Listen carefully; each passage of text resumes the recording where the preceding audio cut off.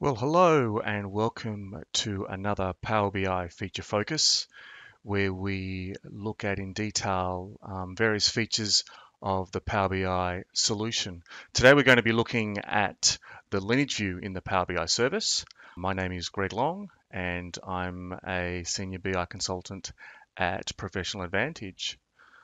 And Lineage View is a really great feature that has been introduced recently because one of the problems with these modern analytics applications is understanding the flow of data from all the way from the data source to the end report. And it can be really challenging to see that data flow where you have multiple data sources report dependencies on multiple data sources and where you're just trying to troubleshoot or understand an impact of the change. And normally, what we do as BI consultants is we would document that in like a Visio flow or, or, or in a Word document to make sure that these flows uh, were understood. And Power BI Lineage View really solves some of those problems. Let me go to my Power BI screen and I'll just show you that. So I'm in my Power BI home screen um, and what I need to do is to just open a workspace. I've got a workspace here that I've looked at recently. And in my workspace, you can see all of my reports, my data sets, um, even my data flows, but you can't see how they are all interrelated together. You can have an idea, but, um, and including some of the dashboards, you, you can't see how that's interacted. So let me just switch to Lineage View. And Lineage View gives us a flow in a diagram of the data from the data source to the dashboard. For instance, you can see here if I scroll down um, in this SharePoint example, I have my data sources to the left and they flow into a data flow, which is optional. The data flow or the data sources then come into what we call a, a Power BI data set where we do the modeling and then we build our reports in in all the all the visuals in the Power BI report. And so these are the reports that we create. And on top of the reports are each dashboard. So you can look and see with this lineage view, show me what this dashboard is made from. So you can see that this, when I press this show lineage, it, it highlights where the data has come from.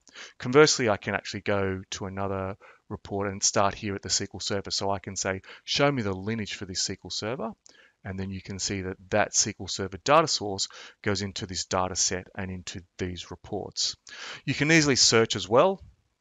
I come in here and I've got some Power Automate. So if I just type in here Automate, I can then search for my various components and look for those. So if I've got a lot of them, the searching is really amazing and I can go and flick between each of them as well. There are other some really great other things that you can do. So you can see we have the dot dot dots, which are the more options against the report and the data set.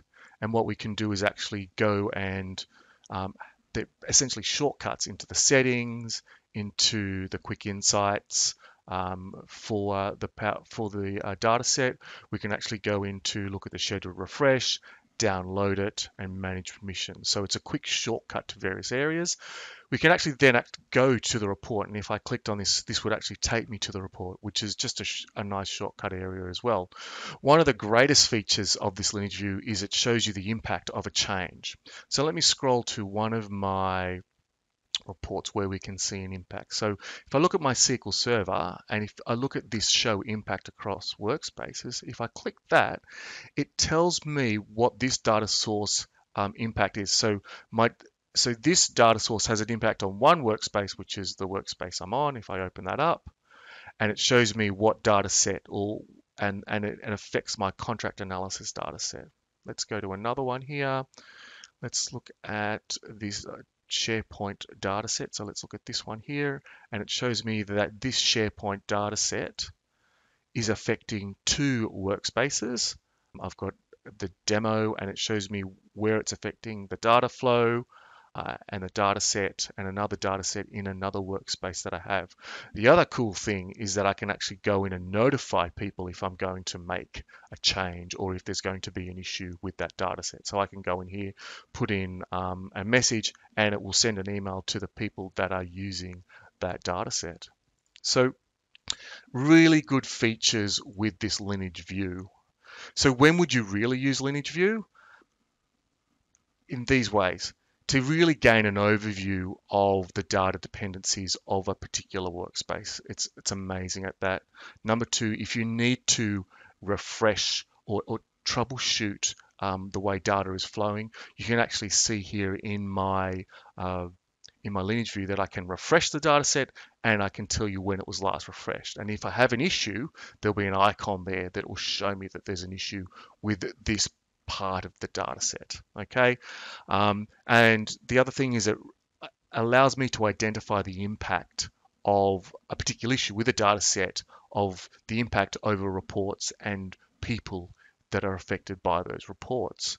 So this is um, just a short video explaining the lineage view. I'm hoping that you're going to use it, especially if you have complex uh, reporting in your workspaces. It's a great feature to just look at. I have customers that that are really using this view to see where the data is flowing from. So until next time, the next feature focus, it's um, Greg from Professional Advantage and signing off. Please contact us on our website if you've got any questions at pa.com.au.